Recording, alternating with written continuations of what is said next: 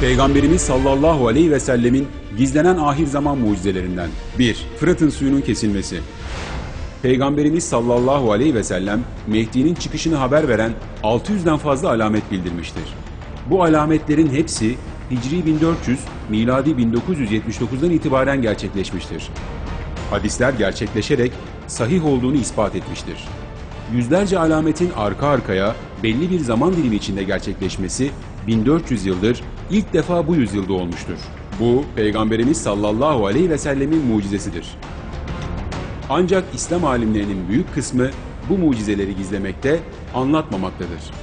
Bu özenle gizlenen alametlerden biri de Fırat'ın suyunun kesilmesidir. Fırat Nehri'nin durdurulması Mehdi'nin alametlerindendir. Hicri 1400'de Fırat'ın suyu ilk defa kesilmiştir. Fırat'ın yatağı ilk kez kuruyor. Fırat, tarihinde ilk ve son defa 3 gün akmayacak. Üzerinde inşa edilen 210 metre yüksekliğindeki Keban Barajı, Fırat'ın akışını kesmiş, böylece Peygamberimiz sallallahu aleyhi ve sellemin bir mucizesi daha gerçekleşmiş, söylediğini haber verdiği bir olay aynen olmuştur. Dikkat! Peygamberimizin bu mucizeleri gizlenmeye çalışılıyor. Fırat Nehri'nin altın bir dağ üzerinden açılması yakındır. Yapılan baraj sayesinde elektriğin üretilmesi, toplanan suyun arazide kullanılarak toprağın veriminin artması ve ulaşım kolaylığının sağlanması gibi sebeplerle buradaki topraklar altın gibi kıymetli hale gelmiştir. Baraj, betondan dev bir dağı andırmaktadır. Müteakiben onun için harp edecekler ve her 100 kişiden 99'u öldürülecek.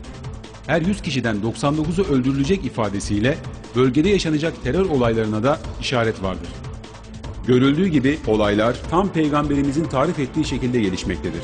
Bu mucizevi durumun bazı İslam alimleri tarafından özenle gizlenmesi ise büyük bir vebaldir.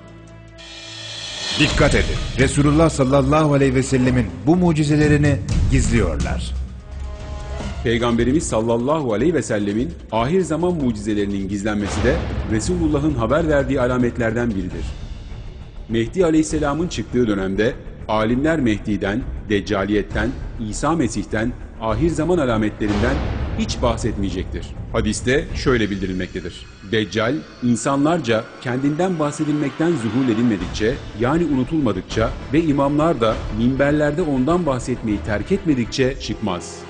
1400 sene evvel sahabe günde 5 vakit Mehdi'yi anlatır ve konuşurken 1979'a kadar tüm alimler insanları sürekli Mehdiyetle müjdelerken son 35 yılda birdenbire hemen herkesin Mehdiyeti anlatmaktan vazgeçmesi şaşırtıcı bir durumdur.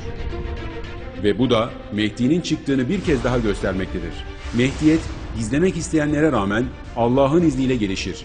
Ancak bazı alimlerin Resulullah sallallahu aleyhi ve sellemin apaçık mucizelerini gizlemenin hesabını ahirette nasıl vereceklerini düşünmeleri gerekir.